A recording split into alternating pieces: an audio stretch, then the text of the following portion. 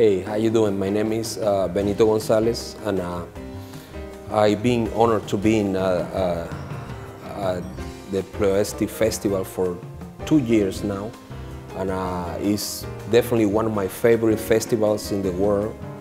The audience is amazing, the energy is, is huge, and we enjoy very much performing here.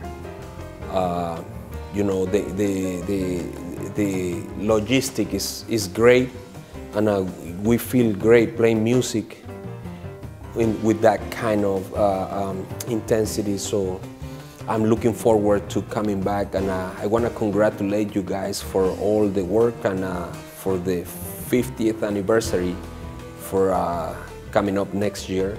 So we will be looking forward to come back and, uh, and uh, is a great city. It's, it's you know it's, it's very uh, traditional, and uh, you know it's, it's, it's a nice place to camp and visit.